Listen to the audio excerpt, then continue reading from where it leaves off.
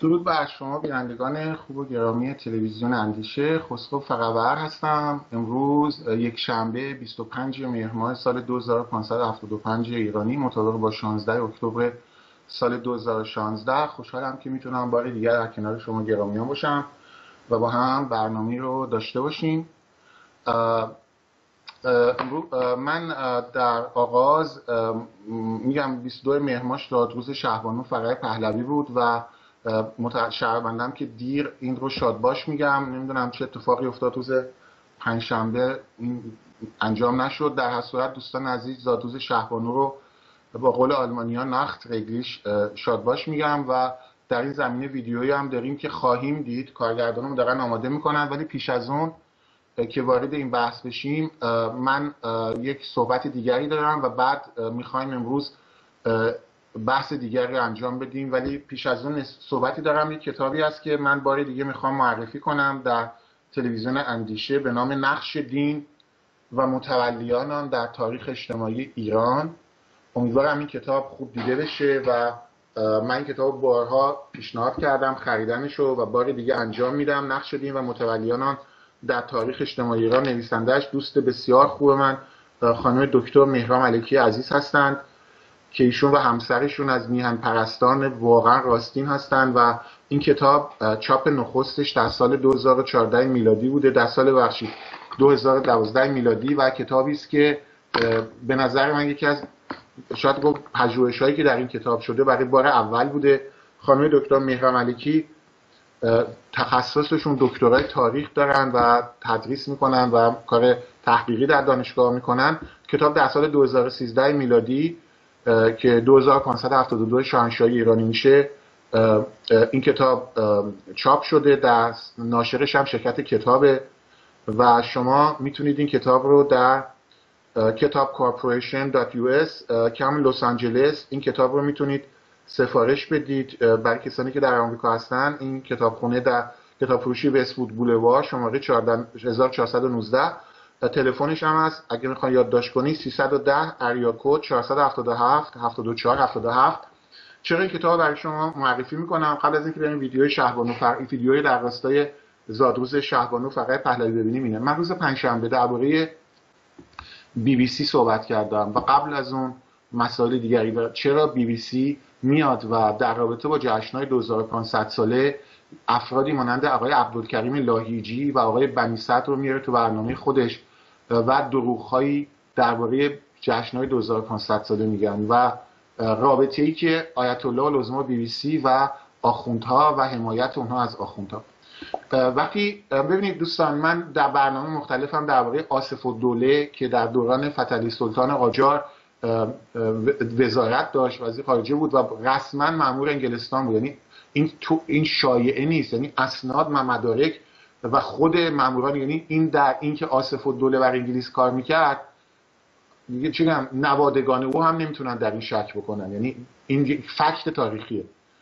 و مثلا یا آخوند شفتی در اصفهان که زمانی که ارتش ایران برای نجات هرات می‌رفت آخوند شفتی تو ایران تو اصفهان حکم جهاد داده بود بر ضد پادشاه وقت ایران محمد قاجار رفته هرات این قاجارا و اینا. بعد این آقا بر ضد محمد قاجار محمد قاجار که جریان هرات یه اتفاقات افتاده بود و جریان دیگه نمی‌خوام وارد جزئیات بشم. این آقا بر ضد اون فتوا داده بود آخوند شفتی. و خانم دکتر میرام ملکی اولین کسی هستند که واقعا در این کتاب خودشون به این مسائل پرداختن و اشاره کردن و تحقیقاتی که این بانوی گرانقدر انجام دادن کم دربارهش در تلویزیون صحبت شده به خاطر دو مسئله. یکی ایشون یک زن هستن. زن در جامعه ایرانی همیشه مردانی که حتی در اپوزیسیون هستن نسبت به زنان ایران نگاه مساوی ندارن. متاسفم که اینو باید بگم. و دوم اینکه و این حسادت هاشون و دوم اینکه دکتر مهران ملکی از مدافعان خاندان پهلویه. وقتی شما مدافع خاندان پهلوی باشی حتی اگه استاد دانشگاه دکترای تاریخ نویسنده پژوهشگر بسیار توانا هم باشی کتاب شما رو سانسور می‌کنن و جایی در واقع صحبت نمی‌کنن. صدای آمریکا اگر واقعا دلش برای مردم ایران سوخته بود و آیت الله لزما بی بی سی اگه دلش برای مردم ایران سوخته بود اگه بحث های تاریخی می‌شد دکتر مهران ملکی هر هفته باید در اونجا می نشست و صحبت می‌کرد. خانم دکتر ملکی حتما می‌شناسید تو هم در تلویزیون دیگه برنامه دارن. هم یک بانوی مبارز سیاسی دوما محقق و بین تمام این محقق های دوزاری که ما می‌شناسیم ایشون یکی از معدود کسانی هستن که واقعا دکترای تاریخ هم دارن و مثل بعضی ها نیستن. مثلا مهندسی تکنیک داره بعد ادعا می‌کنه که اصلا تاریخ اون آقا مثلا کشف کرده. وارد بحث جزئیات نمی‌خوام بشم. چون واقعا و محققیه و من ایشونو خیلی براش ارزش زیادی قائلم و به خصوص در واقع آصف و دولو شفته هم من یه صحبتایی کردم تو این کتاب بوده و ایشون تحقیق کردن و این کتاب رو به همه ایرانیان توصیه می‌کنم جامعه مرد سالار ایران ادعا می‌کنه که زن ستیز نیست جامعه مرد سالار ایران در همین اپوزیسیون تا همین الانش هم زن ستیزه. و من یه خاطری رو تعریف کنم چون می‌خوام یک کلیپی هم از شهبانو فرای پهلوی نشون بدین یه خاطری رو براتون می‌خوام تعریف کنم و برای این خاطره شاهدم دارم فقط نام نمیارم. من چند سال پیش سندیگو برای یه جلسه دعوت بودم سخنرانی با عده‌ای از دوستان که وقتی سخنرانی شد من رفتم در سندیگو بود سخنرانی کنم رونسانس هم بود اتفاقا. و اومدم تو سخنرانی گفتم افتخار می‌کنم که یکی از چی میگن مهمترین محققان تاریخ معاصر ایران امروز در جمع ما هستن خانم دکتر مهران ملکی. من ایشون رو و آقای مهدی شمشیری رو به جز معدود کسانی می‌دونم که واقعا میشه گفت محقق راستی هستن. و خانم دکتر ملکی اول اسم بردم وقتی سخنرانی من تموم شد که درباره اتفاقا سخنرانی درباره رنسانس بود رنسانسی که در ایتالیا فلورانس آغاز شد و مثالم از بوتیچلی نقاش دوران رنسانس بود و چند تا نقاشیشو نشون دادم. من کارم هنر نیست ولی چیز تاریخه و اومدم و شباهت های زیادی حالا نمی‌خوام وارد اون بحث بشم خیلی مورد توجه قرار سخنرانی. سخنرانی که تموم شد نام نمیارم ولی این شخصیت رو اسمشو بگم یعنی همه میشناسینش ولی اسمشو نمی‌خوام بگم حالا. توی تلویزیون دیگه ای برنامه داره. اتفاقا ادعا می‌کنه طرفدار پادشاهی هم هست. سخنرانی من که تموم شد خب خیلی به من تبریک شاد باش اینا. می‌دونید این شخص اومد به من چی گفت؟ می‌خوام فقط مرد سالاری رو بدونید در جامعه ما چیه. اومد به من گفت آقای هر می‌تونم یک نکته رو به شما اشاره کنم؟ سپاس از سخنرانیتون خوب بودین. گفتم بفرمایید خواهش می‌کنم. برگشت اینو من گفت. گفت شما گفتید خانم دکتر ملکی ولی آقایان آقا چیزای دیگه هستن از ایشون من اصلا مونده بودم. من اینجا خوشگم زده بود. و بعد برگشت گفتم البته من آقای شمشیری رو هم گفتم. و این تاوال برای من چون برای این مرد قابل تصور نبود و هر کسی که با کارهایشون آشناست می‌دونه که خانم دکتر مهران ملکی این انسانی که بسیار زحمت این کتاب علی کتاب دیگه هم دارم می و میگم واقعا یک پژوهشگری توی دانشگاه آمریکا هم داره حالا باید این بحث میشه جالب اینجاست که این و این ربط مستقیم پیدا می‌کنه وقتی که میایم و زادروس شهبانو فرای پهلوی رو شادباش میگیم بعد چون امروز از آن بگم موضوع برنامه چیه؟ اینم بگم. من از مدیریت تلویزیون اندیشه و بینندگانم پوزش می‌خوام. من روز پنجشنبه برنامه اختصاص دادم درباره کاری که بی بی سی کرده بود و مستند بسیار مستحجنی که بی بی سی درست کرده بود صحبت کردم. راستش بگم امروز می‌خواستم درباره هفت آبان صحبت کنم و دوستانی که می‌خوان یک کاری رو برای هفت آبان انجام بدن. من از الان اعلام می‌کنم که روز پنجشنبه برنامه مخصوص خواهم داشت درباره هفت آبان و جنبشی که بعضی دوستان رنسانس واقعی ایرانی و اون یعنی از الان به همه بچه دوستان میگم روز پنجشنبه برنامه من فقط درباره این اختصاص خواهد داشت و مسائل مختلفی رو مطرح خواهم که شاید مهمانی هم داشته باشیم تو برنامه. یعنی بچه های ایران بدونن روز پنجشنبه این کار رو خواهم کرد. و قصد قصدشم امروز این کار رو بکنم و نتونستم. دلم نیومد که این کار نکنم. بکنم. می‌دونید چرا؟ چون ته دلم هنوز این توهین بی بی سی وجود داره. نمی‌تونم بیام جلوی دوربین وانمود کنم که نیست. و بنابراین امروز تو برنامه هم درباره موضوع صحبت خواهم کرد. و دلیلش هم اینه که نمی‌تونم. یعنی دردی که تو وجود من و خیلی از الان شما برید فیسبوک و اینترنت قوقاست برید صفحه خود بی بی سی ببینید مردم چه کامنت هایی می‌ذارن هزار هزار دارن حمله می‌کنن و انتقاد می‌کنن. و مسائل دیگه یا به گونه دیگه به شما عنوان خواهم کرد که در این راستا درباره ناسیونالیسم ایرانی. و این دقیقا رب پیدا می‌کنه من چرا این کتاب به شما نشون میدم. و به شما امروز اگه تو برنامه نشون بدید قول میدم بعد از کلیپی که درباره شهبانو فقط پهلوی خواهیم دید بشینید به دوستانتون رو دعوت کنید. به شما میگم چه ارتباطی داره که من این محقق تاریخ رو خانم دکتر مهران ملکی رو دوباره به شما نشون میدم. بعد میام کلیپ شهبانو پهلوی رو که ستار عزیز خونده رو به شما نشون میدم. و بعد به شما میگم که آقای عبدالکریم لاهیجی در تلویزیون بی بی سی چه گفت و این چه رابطه ای داره با حقوق زنان در ایران. و من تعجب می‌کنم و من تعجب می‌کنم که جامعه زنان ایران اصلا مسئله شاه و جشنهای 2500 ساله رو بذارید کنار. اصلا رو بذارید کنار. توهینی که در این برنامه شاید خیلی متوجه نشدن به زنان ایران. و این نشون میده جامعه اپوزیسیون خارج از کشور هم با زنان ایران هنوز مشکل داره. مسئله فقط جشنهای 2500 سال نیست. و به این نکته اتفاقا بعد من همیشه یاد بکنم یکی از موسیقیدانان ما در خارج از کشور اشاره کرده بود. درود به شرفش. که من در سایت فیسبوک هم سخنان این موسیقیدان رو گذاشتم و به شدت حمله می‌کنه. آقای بهزاد توکلی و من خیلی دوست داشتم این ویدیو رو بتونم تو برنامه نشون بدم. فقط متاسفانه ایشون در صحبتاش از یک کلمه استفاده می‌کنه که به نظر منم کاملا حق داشته از این مسئله استفاده کنه. ولی این کلمه رو من نمی‌تونم کلمه که برای آقای اسمش لاهیجی استفاده کرده. بسیار بهنه معدبانه هم صحبت می‌کنه ولی یک لقبی با آقای عبدالکریم لاهیجی تو این صحبتش میده که مقررات تلویزیون اندیشه ببینید واژهش توهین آمیزه حتی توهین جنسی نیست. یک واژه‌ای که نمی‌تونم دیگه تکرار کنم جلوی دوربین. واژه جنسی و فوش جنسی نیست از این فکر نکنید. ولی واژه توهین آمیزی و من فقط به خاطر این واژه نمی‌تونم یعنی فکر نکنم اجازه داشته باشم در تلویزیون اندیشه این کلیپ رو براتون پخش کنم.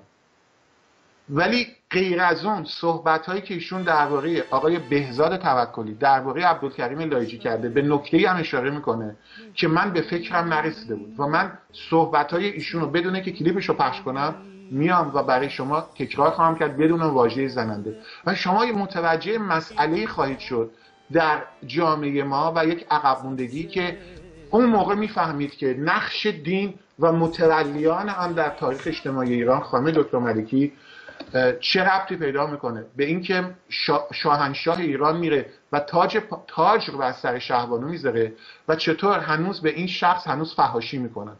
ریشه اینها رو شما در خواهید یافت. کارگردان عزیز امکان داشته باشه بریم به ستار عزیز. این ویدیو کیفیتش متاسفانه پایین بوده. برای همین تصویر منم یه گوشه خواهید داشت. از لحاظ چی میگن رزولوشن ولی ویدیویی از از ستار عزیز گلبانو به یاد شهبانی رو. میریم با هم نگاه می‌کنیم. زادروزش اینو شابازم شاد باش میگم. یکی دو روز 22 مهر گذشت. میریم و برمیگردیم. دوستان گرام از کارگردانمون سپاسگزارم. و کارگردان عزیز من ایمیل دوم رو براتون فرستادم. و امیدوارم به دستتون رسیده باشه. اگه لطف کنید به اون هم نگاهی بکنید ازتون سپاسگزارم. بینندگان از ستار عزیزمون سپاسگزارم. نمونه یک هنرمند راستینه که هرگز فراموش نکرد که از کجا آمده و هرگز فراموش نکرد که ایرانش رو هرگز فراموش نکرد که آدم باید سپاسگزار باشه آدم باید از خوبی ها هم سخن بگه. در نور خورشید به دنبال تاریکی ها گشتن. بعض دل چشم بعضی ها رو کور کرده. من تعجب می‌کنم. حالا برمیگردیم به داستانمون. من کارگردان عزیز امکانش از کلیپ شماره دو رو که ایمیل یک فرستادم بدون صدا ببینیم که شما هم بعد اینو بدون صدا پخش کنیم و بعد من ایمیل دو رو هم براتون فرستادم دلیل داره. دوستان عزیز داستان اینه که بعضی موقع از حول آش نظری ما مردمان ضربه هایی به خودمون می‌زنیم که بیشتر به ما ضرر می‌زنه.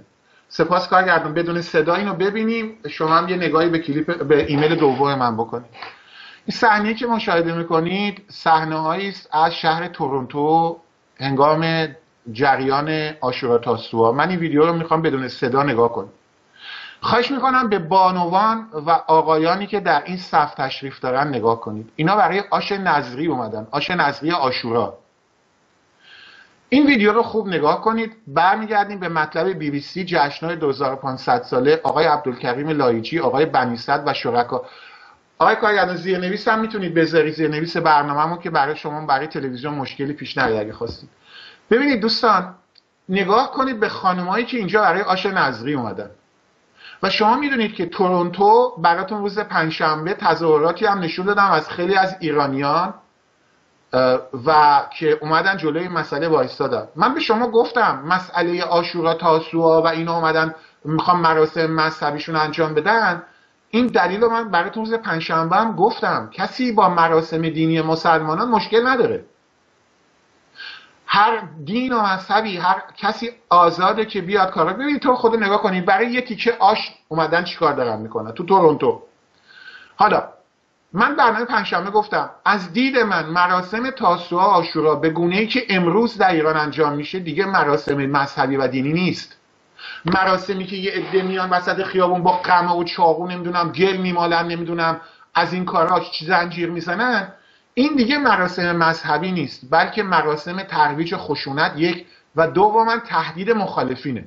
یعنی وقتی یه نفر میاد تو خیابون جلوی بقیه به خودش قمه می‌زنه یا زنجیر می‌زنه خب شما نمیگی اگر من با این آدم مخالفت کنم با من چیکار می‌کنه؟ یک حالت قدرت نمایی تبدیل شده. در تورنتو و شهرهای خارج از ایران هم مدتی جمهوری اسلامی این کار رو آغاز کرده و می‌خواد از دید من زهر چشم بگیره. این مردی که اینجا صحبت می‌کنه صداشو نمیشنویم. می‌دونید چی میگه؟ میگه دو تا دختر رو الان در ایران شلاق زدن و شما خانوما و آقایون اومدید برای آش نظری. در رابطه با کاری که جمهوری اسلامی در تورنتو کرده. به این زنان نگاه کن. این خانومی که اینجا بلند شده هجابم نداره یا این خانوم با عینک آفتابی یا اون آقایی که کراوات زده اینا اینا اینا آش نظری واقعا آشورا تاسوعی هم ببینید من از ایران اومدم. من به این زنی نمیگم چی لباس و چی لباس نپوش.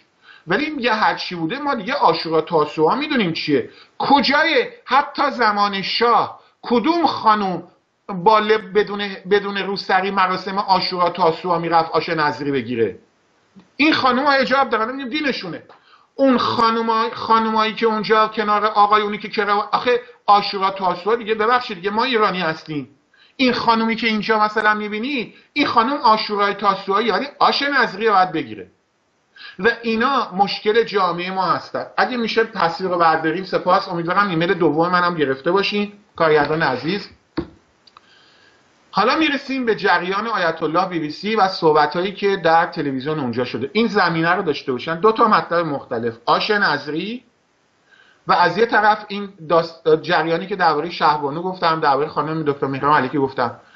شاهنشاه میاد بعد از 1400 سال تاج بر سر یک زن ایرانی می‌ذاره و شما می‌دونید که شهبانو فرای پهلوی نایب السلطنه ایران بودن. یعنی اگه برای شاه اون موقع هم اتفاقی میافتاد چون ولیت به سن قانون نرسیده بود شهبانو نایب السلطنه ایران بود. یعنی نفر اول کشور می‌شد. یک زن بعد از 1400 سال. من می‌خوام یه پرسشی از شما بکنم. من می‌خوام بپرسم اونایی که مستند بی بی سی رو دیدن آیا توجه کردن؟ و این نکته رو واقعا باید بگم. آفرین بر بهزاد توکلی. آفرین بر به. واقعا اینا هنرمندن. ستار واقعا یه هنرمنده. شرافت ستار. کاش که از اینا بیشتر کاش که ما ما باور کنید اگه ما چهل تا مثل ستار داشتیم الان ایران شاید آزاد شده بود. خواننده محبوب مردمی میهن پرست بهزاد توکلی موسیقی دانه تو واشنگتن هم هست اگه اشتباه نکنم.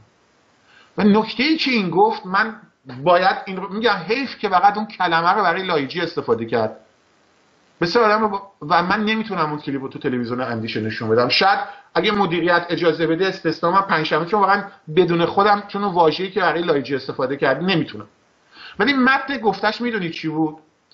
اومد گفت آقای عبدالکریم لاهیجی. اول بگم عبدالکریم لاهیجی کیه؟ و بعد داستان خوب دریابید. زن ستیزی در جامعه ما تا چه حده؟ چجوری؟ مگه چه خبره؟ جریان اینه که اولا عبدالکریم لاهیجی اول بگم برای جوانایی که نمی‌شناسن. عبدالکریم لاهیجی 15 سال می‌دونید که در اروپا یه سازمانی هست به نام فدراسیون بینالمللی نهادهای حقوق بشری که اینشون یه مدتی نایب رئیسش بود و به عنوان مدیر اتحادیه حقوق بشر در ایران آقای عبدالکریم لایجی مدیر اتحادیه حقوق بشر در ایران بود. و به نام فعال حقوق بشر مقیم پاریس هم بود و به نام مدیر اتحادیه حقوق بشر ایران چون این فدراسیون بین‌المللی نهادهای حقوق بشره به اصطلاح vice president هم بود. بعد چند سال پیش ایشون شدن رئیس این فدراسیون. البته اشتباه نکنم 2016 رئیس عوض شده نمی‌دونم هنوز رئیسن ولی آقای عبدالکریم لاهیجی نقش خیلی مهمی در اروپا بازی می‌کنه و از دید من نقش ایشون بسیار منفی بوده.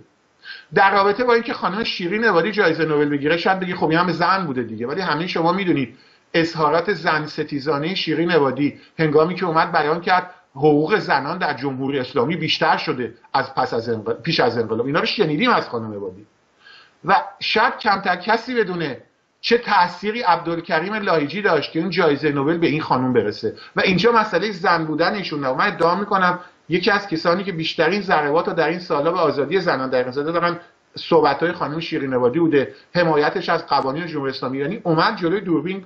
قشنگ نیادمه توی انگلیسی کجا بود؟ گفت آره از زمانی که در ایران جمهوری اسلامی اومده حقوق زنان بیشتر شد. من سرم درد گرفته بود. این آقای عبدالکریم لاهیجی تاثیر بسیار بسیار منفی از دید من عقیده شخصی ایشون دکترای حقوق داشته زمان شاه. و این آقای عبدالکریم لاهیجی میارنش تو بی بی سی و صحبتی در میانه بی بی سی می‌کنه که آقای بهزاد توکلی به زیبایی به این مسئله اشاره کرده و من متوجهش نشده بودم. برای همین امروز باید اینو بگم. می‌دونی چی میگه؟ آقای عبدالکریم لاهیجی میاد در تلویزیون بی بی سی می‌دونید که همش داشت توهین می‌کرد به پادشاه. دروغ دروغ هایی که بی بی سی گفت مثلا اصلا نمی‌خوام وارد جزئیات بشم. هر کی مستند دیده خندش گرفته. از دروغ های شاخدار جشنهای 2500 ساله 20 میلیون دلار خرجش بود اونجا شد 650 میلیون دلار. آقای ابراهیم گلستان آقای گلستان دیگه ابراهیم فکر کنم فهمیدش اون موقع کارگردان جشنهای 2500 ساله فیلمایی که از اون دوران دارید کار آقای گلستانه اگه اشتباه نکنم. ولی به زیبایی آقای انصاری در مصاحبه‌ای که با آقای فرهودی انجام دادن آقای, ف... آقای... آقای انصاری هم شما تو مستند بی بی سی شنو دیدید. ولی آقای انصاری با شرافت هرچی بیشتر رفتن در مصاحبه‌ای که با آقای فرهودی داشتن در برنامه به نام افسان... کیهان لندن جشنهای 2500 ساله افسانه در واقعیت آقای انصاری گفت گفت منو بردن تو مستند ولی صحبت ما edit شده. می‌تونید برید اینو نگاه کنید. لازم باشه پخشم می‌کنیم اینو. و آقای انصاری اشاره کرد گفت اینا چی میگن توی مستند 600 میلیون 20 میلیون بوده؟ و بعد آقای انصاری به مسائل دیگه اشاره می‌کنه. میگه کارگرد آقای گلستانی که بردن تو بی بی سی صحبت می‌کرد همینطوری آقای انصاری بود. آقای انصاری از مدیران جشنهای 2500 ساله بوده. آقای انصاری میگه من از این آقای گلستان یه سوال دارم. آقای گلستان شما برگشتی تو برنامه بی بی سی گفتی که جشنهای 2500 ساله مردم جایی نداشتند. بعد انصاری می‌دونی چی گفت؟ گفت دلیلی که ما مردم رو در جشنهای 2500 ساله نمی‌بینیم فیلم اینه که همین آقای گلستان از مردم فیلم برداری نکرده. بازی رو می‌بینید شما وقتی جشنهای 2500 ساله فیلماشو می‌بینید اونجا که رژه میرن سربازا همیشه اون قسمت رو می‌بینید که لوژی شاه و رؤسای جمهور و شاهزاده های اروپایی نشستن دارن رژه رو نگاه می‌کنن. جناب آقای انصاری درود به شرفشون و سپاس از آقای فرودی از این مصاحبه قشنگشون. آقای انصاری می‌دونید چی لو داد؟ گفت همین آقای گلستان که اونجا کارگردانی می‌کرد نرفت اون طرف رو نشون بده. که اونجا دو هزار نفر مردم دعوت شده بودن. از هر ایل ایرانی مثل اینکه ده نفر دعوت شده بودن حدود هزار خوده نفر از ایلات دعوت شده بود از نمایندگان مختلف ایلات ایران و 800 نفر از مردم عادی هم به نمایند. چون نمی‌تونستن تو تخت جمشید اون موقع بیشتر آدم بیارن. اون موقع امکانات نبود. گفت دو هزار نفر هم اون از مردم نشسته بودن که هزار خوده از نمایندگان ایلات ایران بودن از نقاط مختلف از جنوب شمال کردستان خراسان. 800 نفر هم از تهران از آدمای معمولی از اصناف و چیزهای مختلف آورده بودن اونجا. یعنی آقای گلستان خودش اونجا کارگردانی می‌کرده همش فیلمو یعنی این کارا رو می‌کردن. اینطوری نظام پادشاهی فروپاشی شده. اومده فقط از اون طرف فیلم گرفته که تو فیلم شما مردم رو نبینید بعد میره تو مستند بی بی سی کنایه می‌زنه که آقا مردم نبودند. یعنی آقای گلستان نمی‌دونه که مردم اونجا بودن. خودت که اونجا بودی آقای گلستان. پس من اینو استناد می‌کنم به صحبت آقای انصاری که خودش از مدیران جشنهای 2500 ساله بوده. و سوالی که برای من پیش میاد اون مستند بی بی سی فیلمو edit کردن آیا این حرفایی که آقای انصاری زده اونجا edit شده؟ حالا در قسمتی از این برنامه آقای بهزاد توکلی در اون صحبت بسیار قشنگی که اگه دوست دارید ببینید اون فیلمو برید تو سایت فیسبوک من گذاشتم برید نگاه کنید. تو تلگرام هم, هم می‌ذارم تو وبلاگم هم همین الان بعد از برنامه خواهم گذاشت. برید نگاه کنید ببینید چه قشنگ نکته میگه. چی میگه؟ میگه آقای عبدالکریم لاهیجی رو آوردن اونجا. بی بی سی درباره این سوال می‌کنه. آقای عبدالکریم لاهیجی هم مثل آقای بنی صدر هرچی از دهنش در میاد میگه. و نکته ای که برای آقای لاهیجی میگه خیلی چی بوده. میگه عبدالکریم لاهیجی تو مستند بی میگه خمینی نامه ای به شاه نوشت. گفت آقای شاه این کارها را نکن. این صحبت آقای من نمی‌خوام بی بی سی تو اندیشه نشون بدم چون نمی‌خوام ارزش تلویزیون اندیشه رو پایین بیارم. هر کی مستند دیده می‌دونه من دارم چی میگم. میگه آقای لاهیجی برمیگرده میگه آقای خمینی نامه نوشت به شاه. گفت این کارا رو نکن. خب شاه هم گوش نکرده و انقلاب شد. حالا آقای توکلی خیلی به نکته قشنگ اشاره می‌کنه. که بعد از یه واژه استفاده می‌کنه. کاش که اون واژه رو نگفته بود که من بزنم صحبتش رو پخش کنم. میگه؟ میگه آقای گلستان مگه نمی‌دونستی که تو اون نامه ای که خمینی نوشته چی بوده؟ چرا اون نامه رو نمیگی؟ و راست میگه. دوستان عزیز من خودم بارها اینو تو برنامه نشون دادم. شما می‌دونید چی رو دارم میگم. این همون نامه که خمینی به شاه نوشت و نوشت اعلا حضرتا تو حق نداری به زن حق رأی بدی. نکته گرفتید؟ حالا چه ربطی پیدا می‌کنه به زن ستیزی در اپوزیسیون ایران؟ آقای عبدالکریم لاهیجی اون جایی که برمیگردی تو بی بی سی داری از شاه ایراد می‌گیری. میگی شاه به حرفش کس گوش نمی‌کرد. حتی آقای خمینی به شاه نامه ای نوشت و به شاه گفت این کارا را نکن.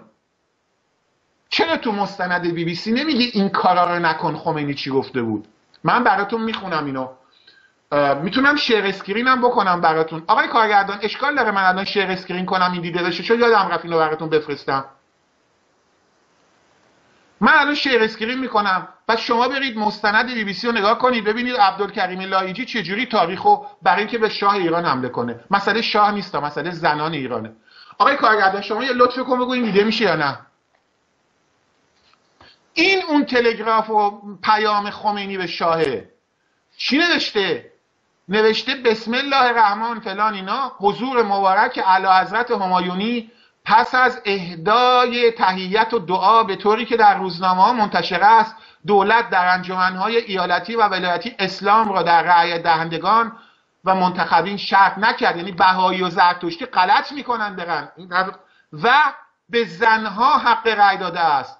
و این امر موجب نگرانی علمای اعلام و سایر طبقات مسلمین است. بر خاطر همایونی مکشوف است که صلاح مملکت در حفظ احکام دین مبین اسلام و آرامش قلوب است.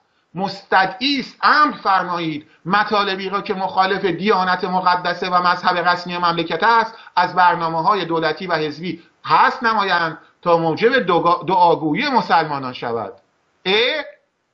ادعایی روح الله الموسوی امیدوارم این دیده باشه.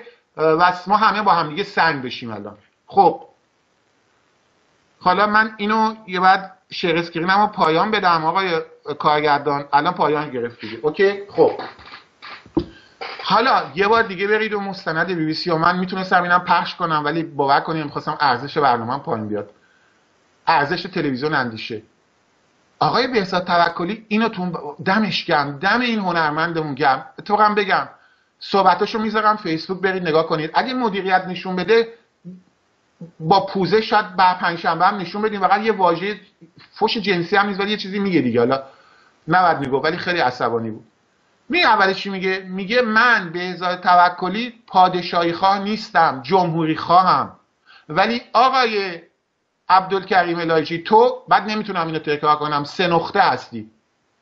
بعد میگه چرا؟ میگه آقای لاهیجی اون جایی که برگشتی به شاه ایراد می‌گیری میگه حرف کسی گوش نمی‌کرد. حتی آقای خمینی گفت این کارا رو نکن نامه نوشت تلگراف زد. شاه گوش نکرد انقلاب شد. آقای لاهیجی نمی‌تونستی اونجا تو بی بی سی بگی که این مت آقا نامه طولانی که نبود این تلگراف طولانی نبود. دو تا چیز نوشته بود.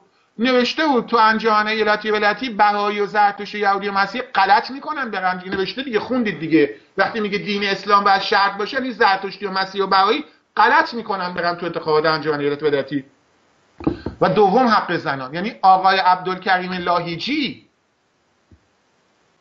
که به قول خودشون مدیر اتحادیه حقوق بشر در ایران هستند. اونجا نباید در بی بی سی مدافع پادشاه باشن. در این امر و بعد بهزاد توکلی که اولش هم گفته من جمهوری خواهم یعنی کار نکنیم مثلا شاهیه میگه آقا بعد یه چیز دیگه هم میگه میگه باید خاک ریخت حالا یه جور میگم که قوینامی نباشه میگه باید خاک بر سر آن حقوق بشری ریخت که حالا چی بگم یه جوری آمی... واقعا قصد توی ندارم. اون گفته فقط می‌خوام معدبانه بگم که واقعا که چجوری بگم که وکیلش مثلا شما باشه اینطوری میگم که توی نامیز نباشه.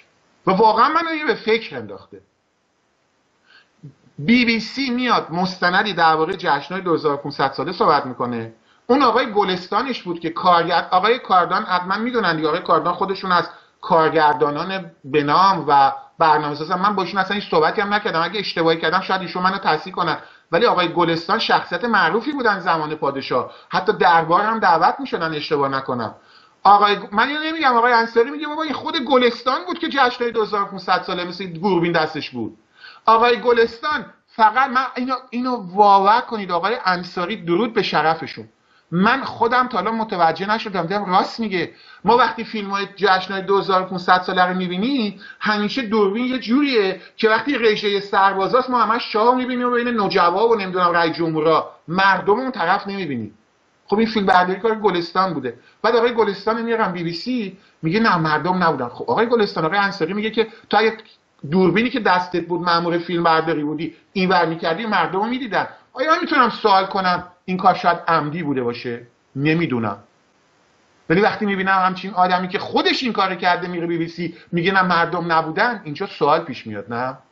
وقتی که می‌بینیم که آقای بنی صدر رئیس جمهور این مملکت بودن یعنی بنی صدر نمی‌دونه خب اسناد که وجود داشته.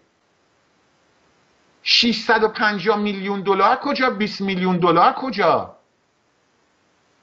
آقای عبدالکریم لایجی مدیر اتحادیه حقوق بشر و رئیس فدراسیون بینالمللی حقوق بشر در ایران. وظیفهشون نیست به عنوان کسی که از حقوق زنان دفاع می‌کنه و از حقوق اقلیت های مذهبی. تو وقتی رفته تو بی بی سی می‌خواد از شاه ایراد بگیره. بعد می‌بینه اونجا به نفش نیست. بگه اون چیزی که خمینی به شاه میگه آره شاه گفت این یعنی چی؟ یعنی آقای بنی صدر و آقای گلستان و آقای گیلانی و یه آقای دیگه که نامشو نمیگم چون نمی‌خوام مشکل به وجود بیاد رفتن اونجا و دارن ایراد می‌گیرن از جشن 2500 ساله. بعد اونجا میگن همه مردم اعتراض داشتن خمینیان اعتراض داشت. بعد آقای چیز میگه که خمینی که به جشن 2500 ساله اعتراض نکرد. خمینی به حق رأی زنان و آزادی های اقلیت های دینی اعتراض کرده بود. و اینجاست عزیزان من که شما به یه نکته ای پی می‌برید. و اون نکته می‌دونید چیه؟ و این نکته خمانگیزه من دارم به شما اینو میگم. اصلا بی خیال شاه بی خیال رضا شاه. بگم؟ من یواش یواش دارم به این عقیده می‌رسم که بعضی افراد در سال 57 می‌دونستن که خمینی می‌خواد زنان ایران رو زندانی کنه نابود کنه. ولی شاید برای بعضی ها ایدئولوژیشون مهمتر از حقوق زنان بود. شاید بعضی ها می‌دونستن که بهایی ها و زرتشتی ها و یهودی و مسیحی ها چه بلایی بر سرشون خواهد اومد. ولی می‌دونید چیه؟ شاید براشون ارزشی نداشت. و بعد آقای توکلی حرفی رو می‌زنه. من امروز نگام به ساعت مثل که وقت زیاد چیز کردم می‌خوام یه کلیپ نشون بدیم ببینید راستش بگم الان بعد یه ذره فکر کنم که این افشاگری در واقع لاهیجی بکنم یا نه. چون من چیزایی از ایشون می‌دونم. برای همین بعد واقعا بشینم فکر کنم اینو بگم یا نه. چون آقای لاهیجی حالا نمی‌خوام بگم. آقای کارگردان من یه کلیپی فرستادم. این کلیپ رو اگه میشه یه جوری نشون بدید مثل اون کلیپ صدتا چون هم resolution ش پایینه. کلیپ شماره سه آهنگ خیلی قشنگی داره. یه صحنه‌ای هم از جشن 2500 ساله می‌بینیم به نام آزادی میهن کلیپ شماره 4 این کلیپ resolution ش پایینه ولی آهنگش خیلی قشنگه. منم یه ذره از این حالت چیز در بیام که درد دلم رو گفته باشم و میترسم بیا از این موقع چیزایی افشا یعنی واقعا من چیزایی از این آقای لاهیجی می‌دونم. آقای پرویز ثابتی و خیلی های دیگه مطالبی ها درباره آقای لاهیجی در آوردن در رابطه با اعدام و نمی‌دونم صلاح باشه بگم یا آزادی میهن رو آماده داریم. اینو پخش می‌کنیم میرون و برمیگردیم. من یه ذره آروم بشم. تو اینجا صحنه‌ای از تخت جمشید رو می‌بینیم. و سپاس از من یه دقیقه وقت داریم. من درباره عبدالکریم لایجی فقط یه نکته رو میگم و بعد برنامه میبندیم. هفته آبان میریم درباره چیز دیگه صحبت می‌کنیم. ایشون آقای عباس حیدری بودن خوانندهش دمشون گرم خیلی زیبا بود. من این مطلب رو میگم و میرم. فقط آقای عبدالکریم لایجی اگه برنامه رو نگاه می‌کنی بدون که من چیزی رو که امروز تو برنامه نگفتم چون امروز فقط نوبت اتحاده ما برای دشمنی نیومدیم نشریه فصلی در گل سرخ به تاریخ 1165 که سردبیرش خانم عاطفی گردین بود من و مصاحبه شما رو با ایشون دارم در صفحه 55ش امروز نخوندم اینو تو برنامه. درست نیست. فقط اینو بگم که آقای پرویز ثابتی و آقای قانیفر هم اینو تو سایت خودشون گذاشتن. آقای لایجی آیا شما در 5 بهمن سال 57 به زمانی که سخنگوی جمعیت حقوقدانان ایران و دبیر جمعیت ایرانی دفاع از حقوق بشر بودید در اجتماع کارکنان وزارت اقتصاد و دارایی اینو گفتید؟ گفتید تمام اقدامات انجام شده تمام اقدامات انجام شده توسط عوامل رژیم پهلوی محکومیت اعدام دارد. این افراد علیه فلان و فلان و فلان کودتاها کردند و بعد سوال می‌کنید و بعد میگید میگید دادگاه انقلاب باید تشکیل شود و بعد آخرش میگید تا همه بدانند قیام علیه مردم یعنی چی؟ و اولش میگید دوباره می‌خونم برنامه میبندید. میگید تمام اقدامات انجام شده توسط عوامل رژیم پهلوی محکومیت اعدام دارد. بقیه اینجا جریان آقای لایجی رو میبندیم. برای اینکه وقت من برای این چیزا تلف نشه. فقط بگم دهانم بستم امروز. به خاطر اینکه نمی‌خوام دعوا رو بندازم. ولی تا دلتون بخواد هست. من فقط به این آقایون میگم زندگی من و نسل منو آتیش زدید از بین بردید. اقلا به قبر کوروش حمله نکنید. به جشنهای 2500 ساله حمله نکنید. نرید تو بی بی سی بشینید و مسائلی رو مطرح کنید که شایسته یک انسان نیست. شما هر چی باشه وظیفتون دفاع از حقوق بشره. زندگی من و نسل من که تباه شد. سنتون هم که بالا رفته. من نمی‌خوام به یه پیرمرد بیام و مسائلی رو از زندگیش مطرح کنم از سابقه سیاسیش که درست نیست. خواهش می‌کنم احترام خودتون رو نسل 57 نگه دارید. مشکل امروز ما فوش دادن به پهلوی نیست. من روز پنجشنبه این مسئله رو اصلا نمی‌خوام دیگه درباره صحبت کنم. درباره هفت آبان صحبت می‌کنیم. بچه های ایران مطالبی برام فرستادن به درباره اون خواهد بود. از کارگردانمون سپاسگزارم. از تلویزیون اندیشه پاینده باشید بدود